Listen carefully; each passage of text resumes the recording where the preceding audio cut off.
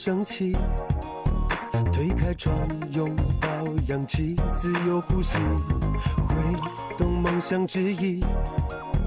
每一天我都会充满生命力。有天我会春风得意，扬眉吐气。我的知己，请给我鼓励。今天起我要释放潜力，突破自己。我会让我的完美人生无懈可击。前路充满了荆棘，就算难免会遇上风雨，从不会放弃前进的勇气。今天起我要释放潜力，突破自己。我会让我的精彩人生无与伦比。要对每段经历去珍惜，要让每分每秒有意义。经得起磨砺才，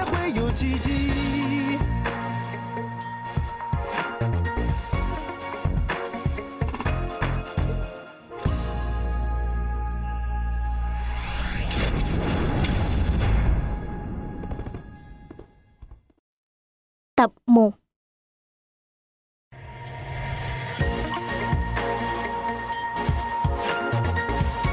Trong vũ trụ bao la vô hạn này Bạn không bao giờ đoán được giây tiếp theo sẽ xảy ra chuyện gì. Nhưng quan điểm của tôi là Mặc kệ nó. Tôi xin tự giới thiệu Tôi là Lữ Tiếu Tiếu Lữ là họ, Tiếu là mỉm cười. Vừa mới tốt nghiệp thạc sĩ, Hôm nay tôi phải đến phỏng vấn. Ở công ty quan hệ công chúng lớn nhất toàn cầu là Lãng Nhã. Mục tiêu của tôi là thoát khỏi kiếp lương thấp, Trở thành quản lý cấp cao trong truyền thuyết.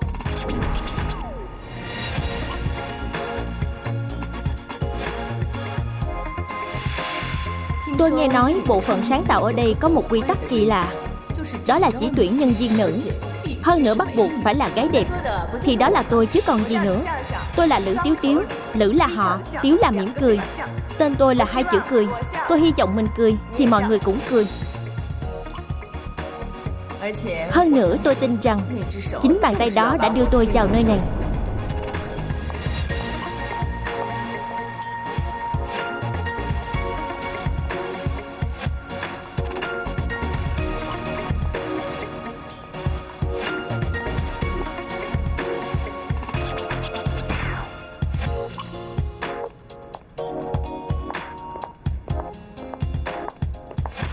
Chào cô. Ăn thử miễn phí. Truyền thuyết đúng là sự thật mà.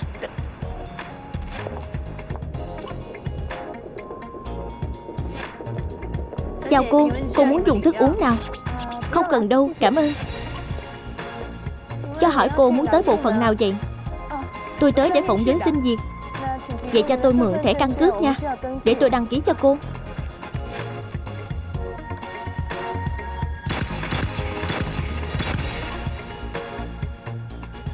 Xin lỗi cô nha. Trong danh sách ứng viên hôm nay của công ty Lãng Nhã, Không có tên của cô. Tôi có thư mời phỏng vấn của công ty đây.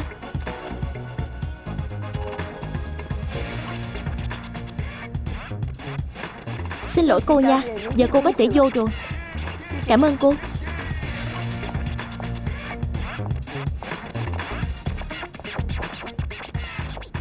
Tôi tới để phỏng vấn.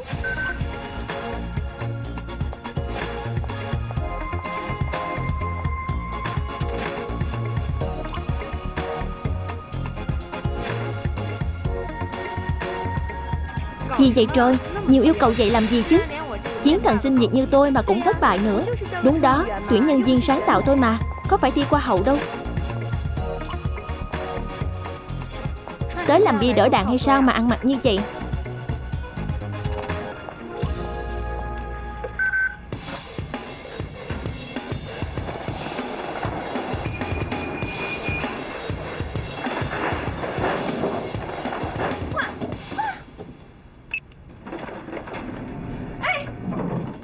Sắp bị chèn sang thang máy kế bên luôn rồi đó. Anh định bắt tôi lau cái này sao? Lầu mấy? 16 Xin lỗi anh, tôi muốn lên lầu 16 Cô tới phỏng vấn đúng không? Cô về tắm rửa ngủ nghỉ đi. Không có cửa đâu. Anh đẩy xe dọn dẹp vệ sinh thôi, Mà sao nói nhiều quá vậy? Được hay không phải thử mới biết chứ.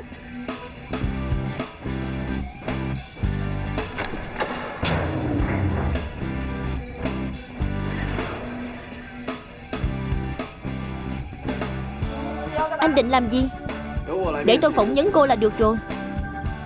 Phiền anh bấm đầu 16 giùm tôi, Cảm ơn. Cô tên là gì? Tôi gặp nhiều gái xinh lắm rồi. Để tôi nghe thử tên của cô. Là tôi sẽ biết cô có cửa đầu hay không. Sao vậy? Sợ bị đả kích nên không dám nói sao? Lữ tiếu tiếu. Lữ là họ, Tiếu là mỉm cười.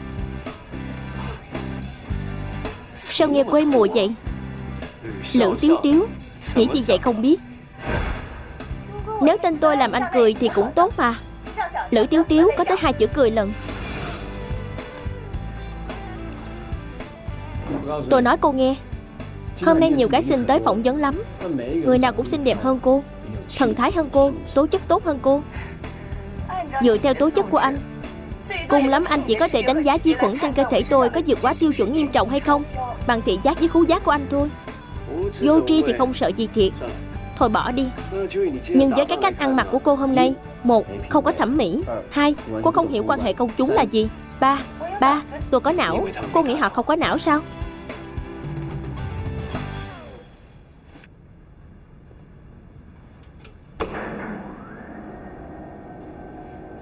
Tôi sẽ khiếu nại anh tội tự ý xông vào thang máy dành cho nữ Quấy rối khách hàng. 0408 6666 Muốn gọi lúc nào cũng được. Nếu cô bị đả kích Cần có người an ủi Thì cứ gọi vô số này là được. Tôi mời cô uống cà phê. Nhân viên dọn vệ sinh gì mà? Dám có danh thiếp luôn vậy? Khỏi cần mời tôi uống cà phê. Nhưng lúc tôi đi khiếu nại Thì phải coi tên anh là gì mới được.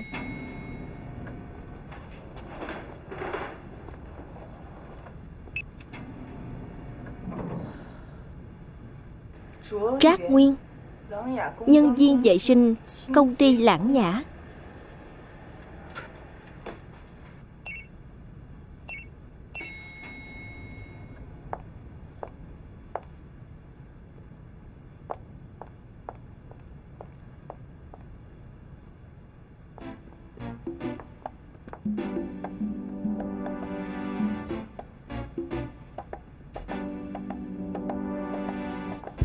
Chào cô tôi hỏi chút, Xin việc thì đi bên nào vậy? Dạ bên kia. Bên này sao? Đúng vậy. Cảm ơn cô.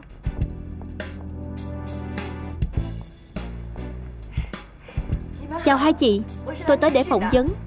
Xin lỗi cô, Buổi phỏng vấn kết thúc rồi. Dạ vậy cho hỏi hai chị là, Tôi là giám đốc phòng nhân sự công ty Lãng Nhã. Đây là giám đốc điều hành sáng tạo phòng sáng tạo, Cũng là sếp lớn nhất ở đây. Juliet, Giám đốc điều hành sáng tạo. Vậy hai chị là giám khảo đúng không? Vậy thì dễ rồi. Có giám khảo, có thí sinh luôn các chị chỉ cần tốn một khoảng cỡ mười mấy hai mươi phút là rất có khả năng sẽ tuyển dụng được một thiên tài sáng tạo cho công ty lãng nhã đó.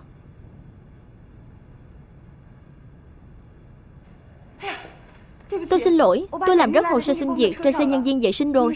Hai chị đợi tôi chút nha. Để tôi hỏi cô vài câu trước đã. Dạ được, các chị hỏi đi. Nếu cô là một thương hiệu nước ngoài Vừa mới gia nhập thị trường Trung Quốc Cô nghĩ điều cốt lõi nhất là cái gì? Cô nghĩ được gì thì cứ nói thẳng ra.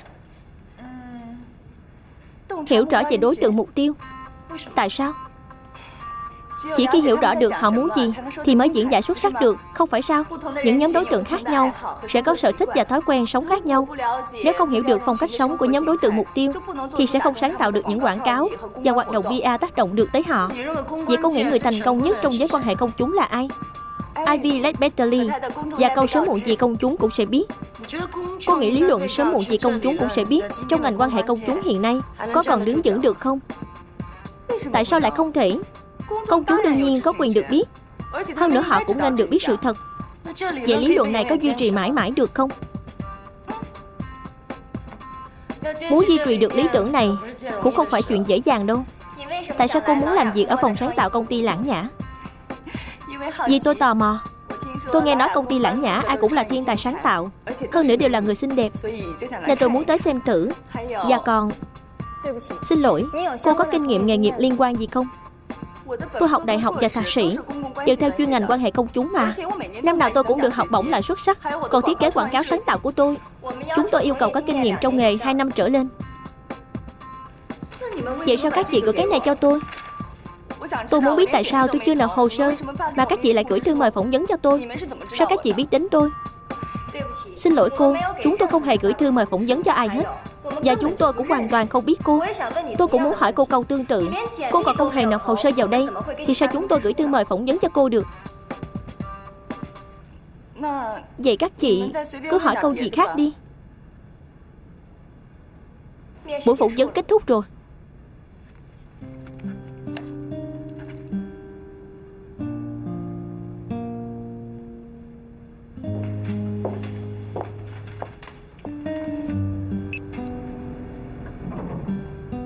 Xem ra Mình phải về điên cuồng rải hồ sơ cùng mọi người rồi.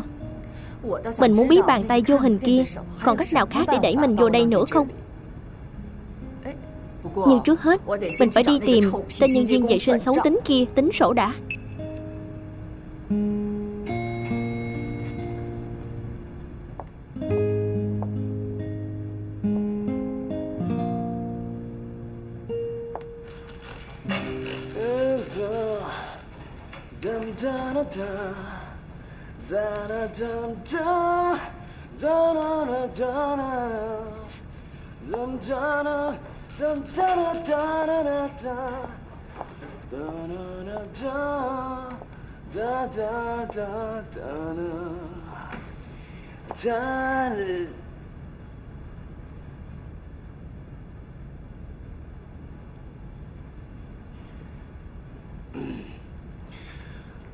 Thích thì cứ coi đi.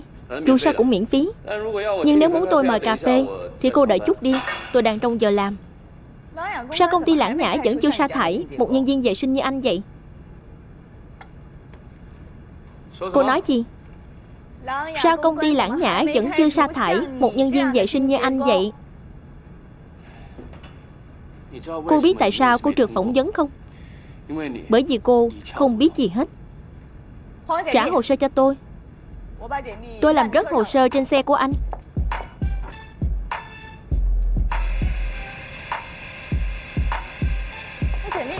Hồ sơ của tôi đâu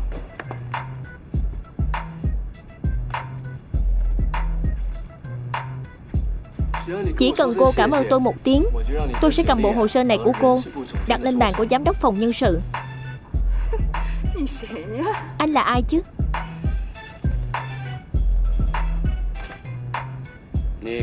Cô nghe cho rõ đây. Công ty lãng nhã lớn như vậy, Từ trên xuống dưới, Từ nhỏ tới lớn có hơn 10 cấp bậc. Chỉ cần cao hơn một cấp thôi Là có thể đè chết người khác, Đuổi cổ cô bất kỳ lúc nào. Nhưng nếu cô ở cấp thấp, Thì phải cúi đầu mà làm người. Vậy nên, Đường nào không nên đi thì đừng đi, Phòng nào không nên vào thì đừng vào, Chuyện nào không nên biết thì đừng biết. Vậy nên chỉ có tôi Trác đại gia này, là đệ nhất ở lãng nhã thôi. Không có lầu nào mà tôi không lên được, Không có phòng nào mà tôi không vào được, Càng không có bí mật nào mà tôi không biết.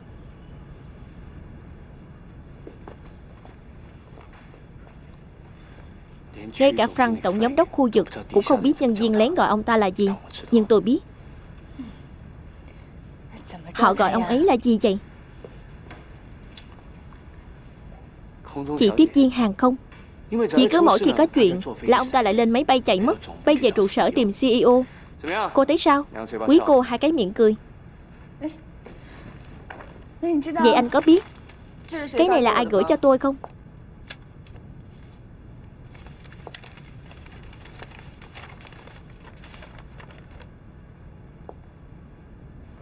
Trên này viết là phòng nhân sự nè. Nhưng người bên phòng nhân sự nói là Họ không gửi thư mời phỏng vấn cho ai hết. Chỉ đang quảng cáo tuyển dụng thôi. Được rồi Để tôi xem thử Xem định dạng, văn phong và chất giấy này Thì đúng là giống y hệt của phòng nhân sự. Nếu không phải nội bộ lãng nhã gửi cho cô Thì chắc là ông trời gửi cho cô đó Cả ông trời cũng gửi thư mời phỏng vấn cho cô rồi. Cô còn thở dài cái gì? Tôi đang cảm thán ông trời này. Hình như lúc nào cũng có mặt. Hơn nữa còn ở ngay sau lưng tôi.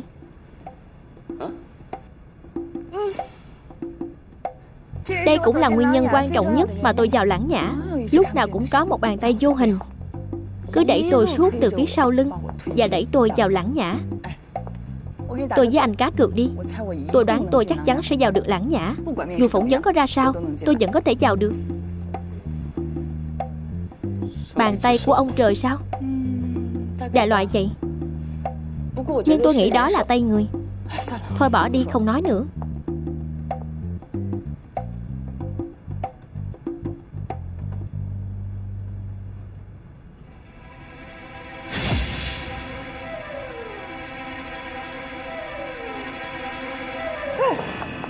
Làm gì vậy? Không có tôi sợ cô thôi.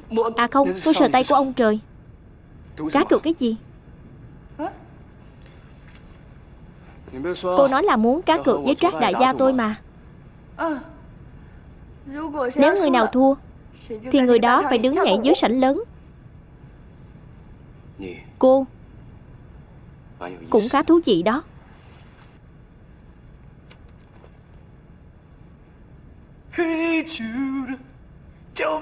it bad. Think a sad song and make it better. Remember to... Được rồi, xem đủ chưa? Tôi phải làm việc đây.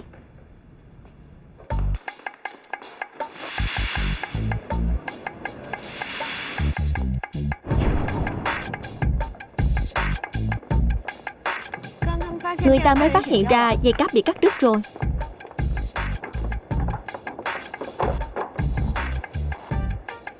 Ngoài các anh ra còn ai tới đây nữa không? Du Tiểu Nhu, Sharon, giám đốc sáng tạo. Và không phát hiện ra người nào khả nghi hết. Không sao đâu giám đốc. Sắp sửa xong rồi. Nhanh tay lên nha. Cô có thấy ai khác vào khu vực này không? Không, ở đây chỉ có nhân viên của chúng ta thôi. Juliet. Tôi đã thông báo cho cô từ sớm rồi. Phải kiểm soát nhân viên ra vào tầng thượng Và chuẩn bị phương án dự phòng. Đối thủ cạnh tranh của chúng ta Sẽ nghĩ ra mọi cách để phá hoại hoạt động của chúng ta. Tôi hiểu mà. Tất cả đã được chuẩn bị thỏa đáng rồi. Giờ kiểm tra màn hình đi. Dạ.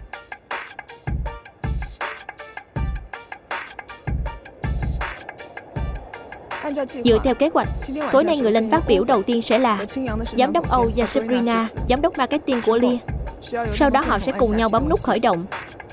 Sẽ cho chạy hiệu ứng đèn flash đồng thời.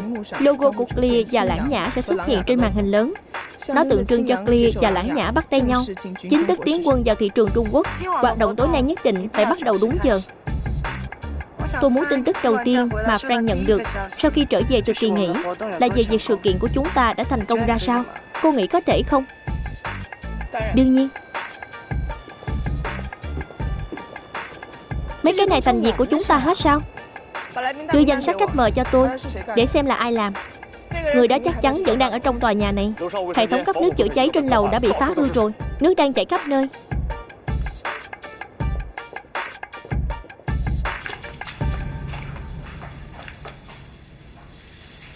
Đầu báo khói bị phá hư rồi.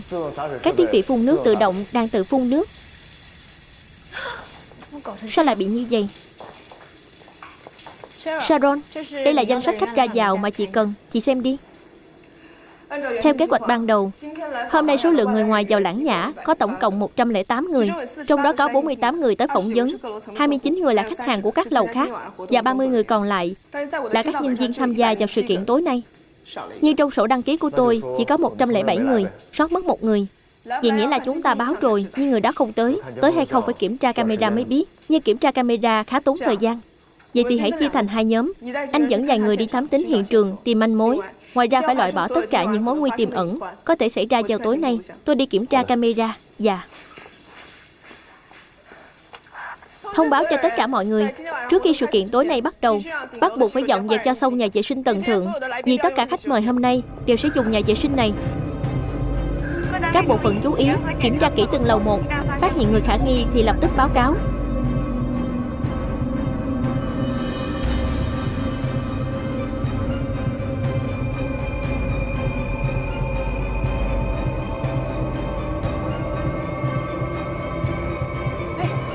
một việc đi. Tôi sẽ mời anh cà phê. Lát nữa tới văn phòng của Frank được không? Anh phản ứng lại chút coi. Không được chỉ tay vào người trác đại gia. Tùy anh. Không giúp thì thôi.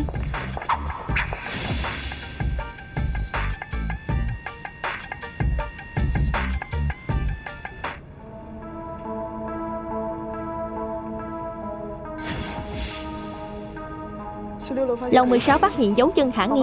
Chuyển màn hình lại lầu 16 đi.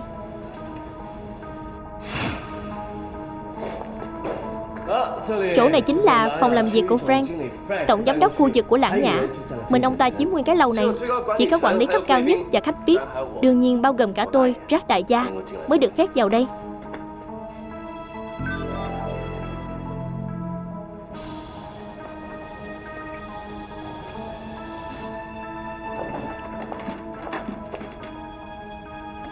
Trừ phi cô nói cho tôi biết, Cô cứ khăng khăng muốn vào đây.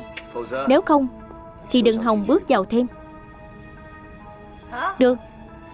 Bởi vì tôi Nhìn thấy cái logo này. Hồi học đại học, Tôi học chuyên ngành quy hoạch và thiết kế đô thị.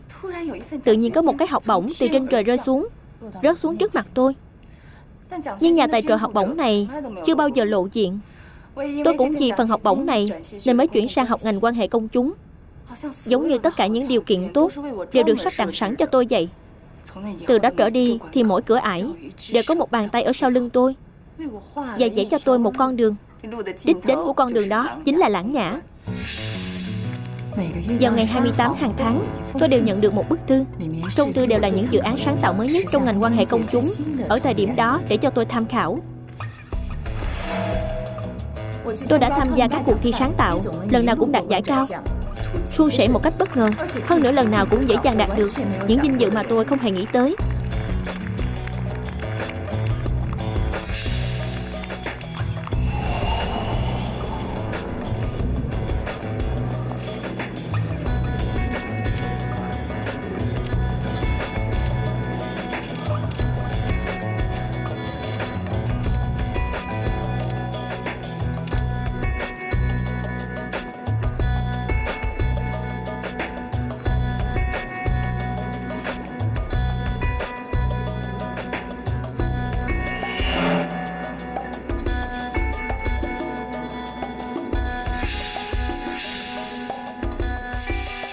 Nhiều lần cảm thấy như có người đang theo dõi mình.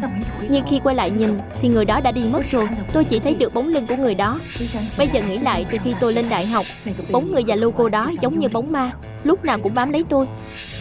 Cho tới một tuần trước, Tôi xem được một chương trình phỏng vấn trên TV Trong đó lại xuất hiện logo này. Tôi mới biết đây là logo riêng của Frank, Tổng giám đốc khu vực của công ty Lãng Nhã. Tôi cũng nhìn thấy bóng lưng kia Trong chương trình phỏng vấn đó. Tôi chỉ muốn biết rốt cuộc là ai Đứng sau lưng sắp xếp số phận của tôi? Tại sao người đó lại làm vậy?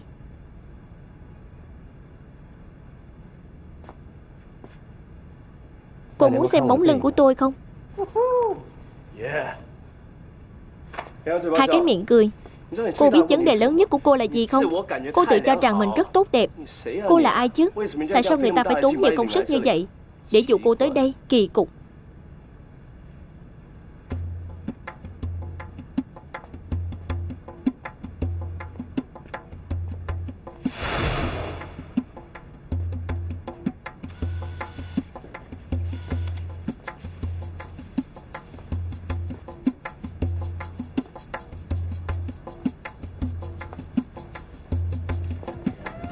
Đứng lại.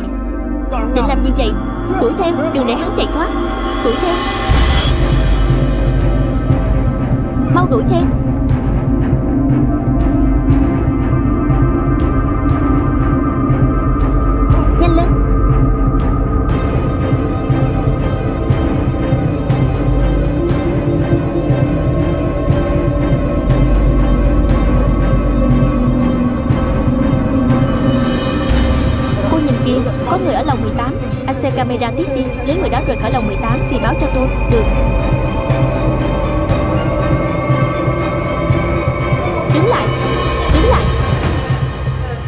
Nhẹ thôi.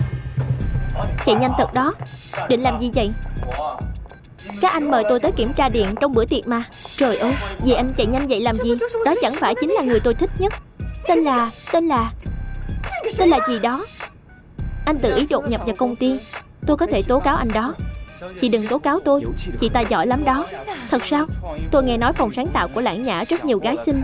Muốn tới mở mang tầm mắt thôi Đưa đi thẩm tra. Đi. Tạm biệt.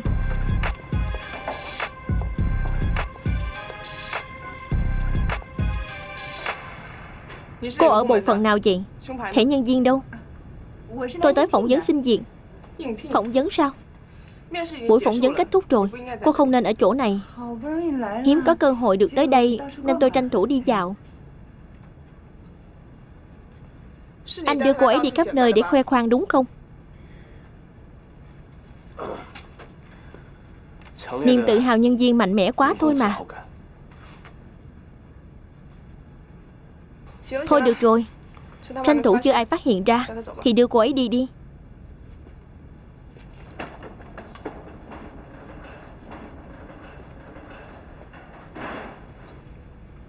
Có cần tôi Bấm thang máy giùm cô luôn không? Cho người tò mò thêm một cơ hội đi. Tôi khuyên cô một câu chân thành. Con người không nên gây ra những việc sai lầm Vào những lúc sai thời gian, sai địa điểm. Tò mò không có gì sai Nhưng nó rất lãng phí thời gian. Làm người mà không mắc lỗi thì đâu có dễ thương nữa.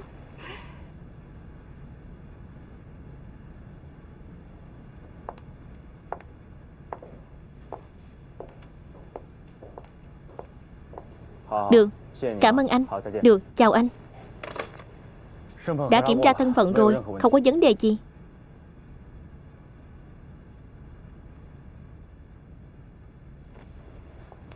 Anh ra ngoài đi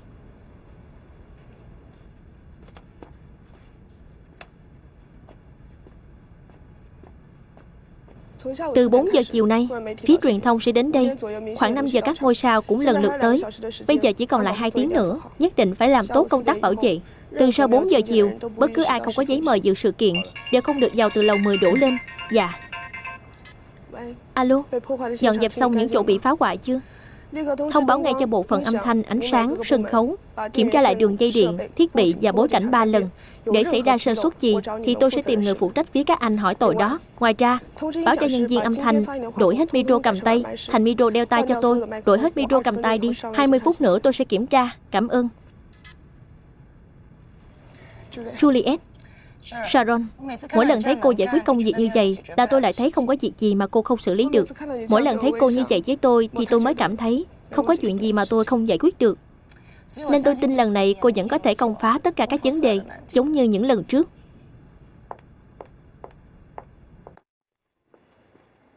Sao vậy? Muốn coi tôi nhảy sao? Vẫn chưa phân thắng bại mà.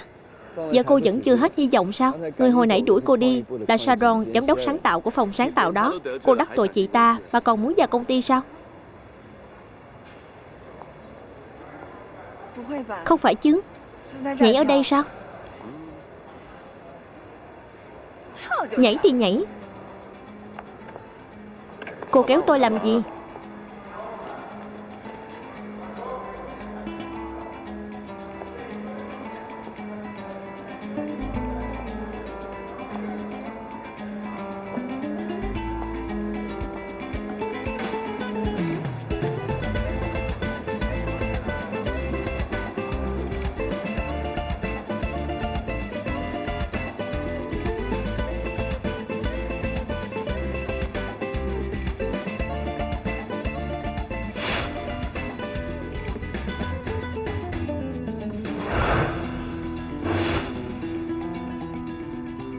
Hóng chuyện nữa. Thông báo mọi người vào vị trí hết đi. Sự kiện tối hôm nay Tuyệt đối không được xảy ra sai sót. Dạ. Đừng xem nữa.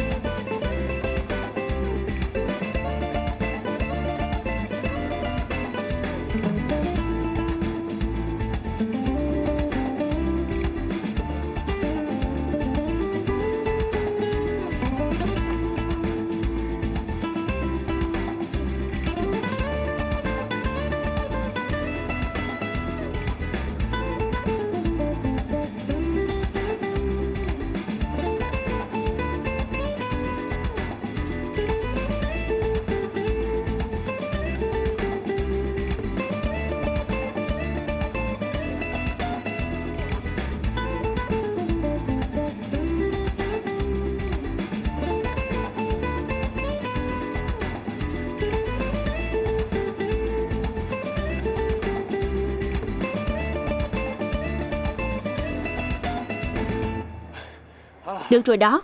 Nhảy dậy đủ rồi. Được rồi. Đủ rồi. Đợi ngày mai xem kết quả đi. Nhưng tối nay có một cơ hội Giúp cô có thể gặp được Frank Và tất cả những nhân vật quan trọng trong công ty đó. Thật sao? Ở đâu vậy? Ở trên mây. Để tôi đưa cô đi. Được.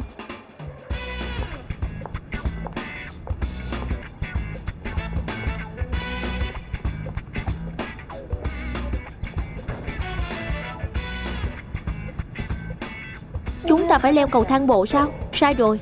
Cô leo chứ không phải tôi. Trong thang máy có camera Nên cô không đi được. Hẹn gặp cô ở cầu thang tận thượng. Cố lên.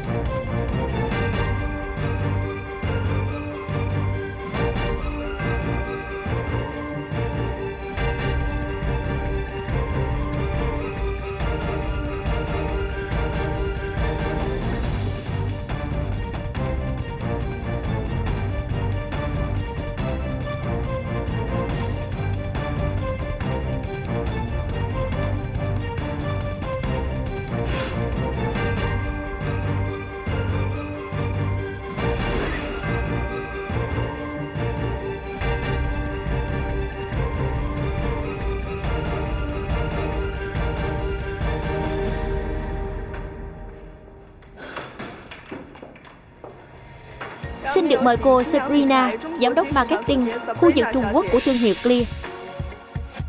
Và anh Âu, Tổng Giám đốc khu vực Trung Quốc của công ty Lãng Nhã lên sân khấu. Xin mời.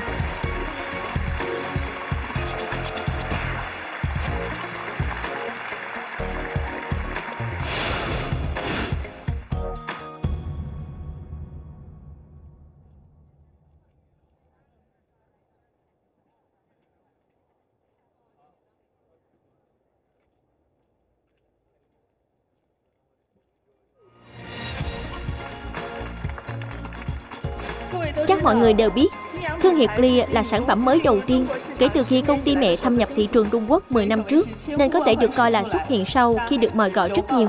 Nhưng khi lộ diện vẫn gây được tiếng giang không nhỏ, giống như thương hiệu Clear, đại diện cho sắc đẹp và trí tuệ của cô Sabrina vậy. Tiếp theo xin hãy dành một tràng pháo tay nhiệt liệt để mời cô Sabrina và ông Âu lên sân khấu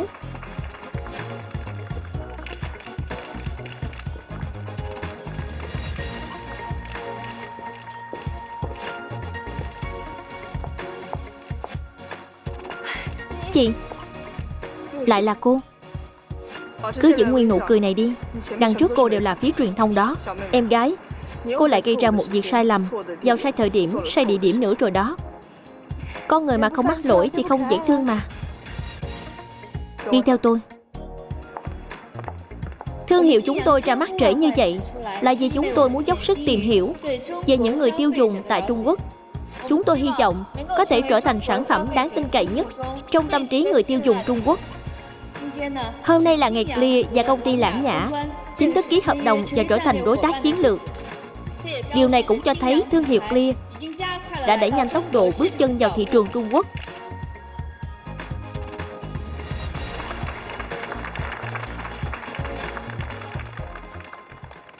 Rời khỏi đây ngay cho tôi, trừ khi cô có giấy mời. Giám đốc Sharon, Xin lỗi chị. Anh tới đây làm gì? Mau đi đi. Tôi cũng không biết những người khác chạy đi đâu rồi. Còn sót mỗi mình tôi, Chúng tôi đã nói sẽ chuẩn bị quà và tư liệu Cho các khách mời tới đây hôm nay Và đặt ở bàn đón khách Vậy để tôi đi tìm họ. Xin lỗi chị nha.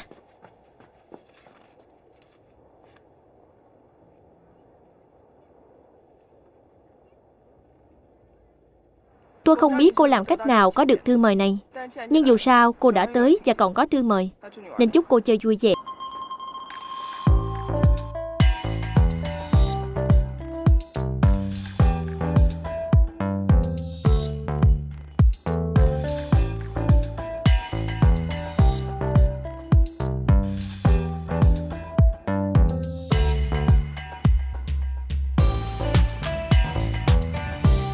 Sao vậy? Cô lúng túng lắm đúng không? Đây không phải trò chơi dành cho người như cô. Về nhà rửa mặt đi. Ngày mai ngủ dậy Thì quên hết chuyện hôm nay đi. Sau đó tới chỗ khác mà cười tiếp. Còn lâu, Tôi là Lữ Tiếu Tiếu, trời xinh xinh đẹp Tài sắc diện toàn Rất đại gia dọn vệ sinh. Anh cứ đợi phim hay dài tập bắt đầu đi.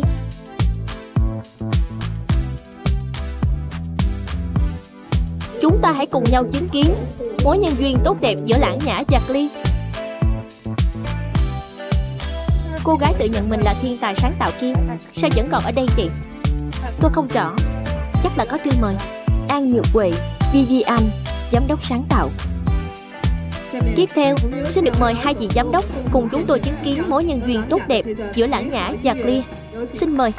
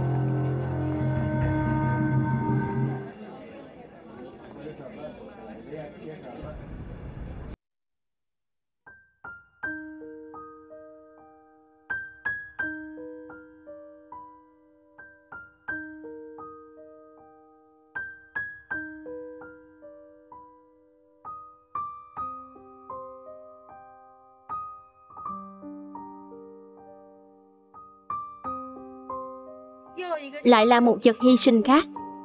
Nhiễm nhiễm, Rae, giám đốc bộ phận quy trình. Dù sao cũng phải có người đứng ra gánh trách nhiệm mà.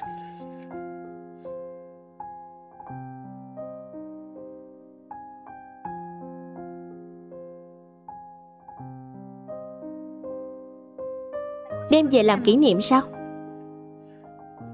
Đương nhiên. Khoảng thời gian ở lãng nhã cũng xứng đáng làm kỷ niệm mà. Juliet cũng phải chịu trách nhiệm. Làm gì có chuyện Juliet gánh tội giùm cấp dưới chứ? Hơn nữa, Cô ấy là một người phụ nữ, Không bao giờ để ai bắt lỗi được mình. Lỗi của cô ta đều để cấp dưới gánh hết cho rồi. Chưa biết chừng một ngày nào đó, Tôi cũng phải tự tay tháo Tấm bản ghi tên mình xuống.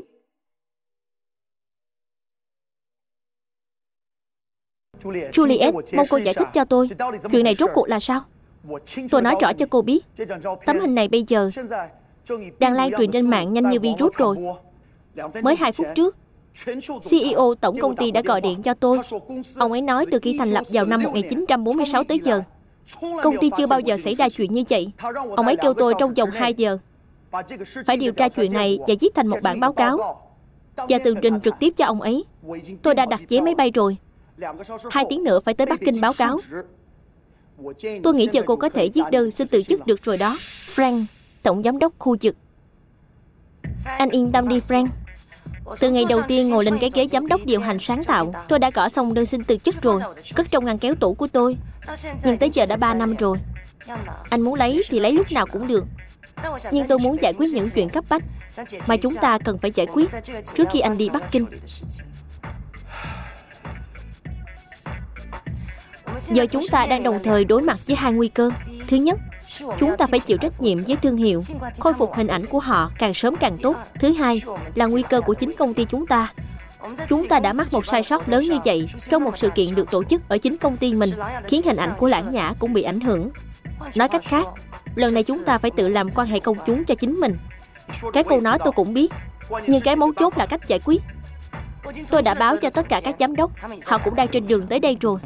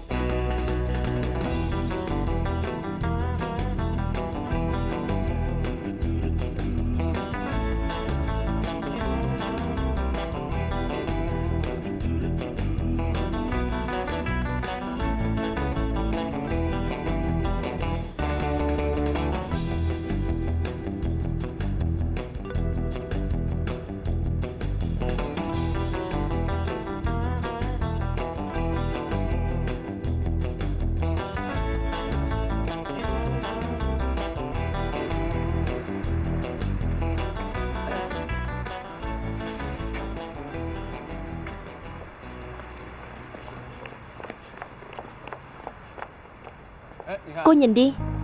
Thấy đèn trên kia đều đang sáng không? Họ tăng ca sao? Sai rồi. Giờ nghe quan điểm của trác đại gia này đi. Quan điểm của nhân viên vệ sinh sao? Đúng, Quan điểm của nhân viên vệ sinh.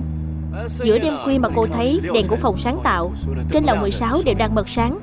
Thì nghĩa là có mối làm ăn lớn rồi. Chắc chắn rất nhiều người đang cười và sắp được thưởng to. Nếu cô thấy đèn của phòng chăm sóc khách hàng Trên lầu 17 đều đang bật sáng, Thì chứng tỏ chúng ta đang gặp chút rắc rối. Hôm sau sẽ nghe thấy có người phàn nàn vì sắp bị trừ lương. Nếu đèn ở khu làm việc của Frank Trên lầu 18 đều đang bật sáng, Thì nghĩa là có chuyện lớn rồi. Hôm sau sẽ có nhiều người phải cuốn gói khỏi đây. Lúc đó tôi vẫn chưa ý thức được Rằng cuộc khủng hoảng bất ngờ này Sẽ thay đổi hoàn toàn cuộc sống của mình.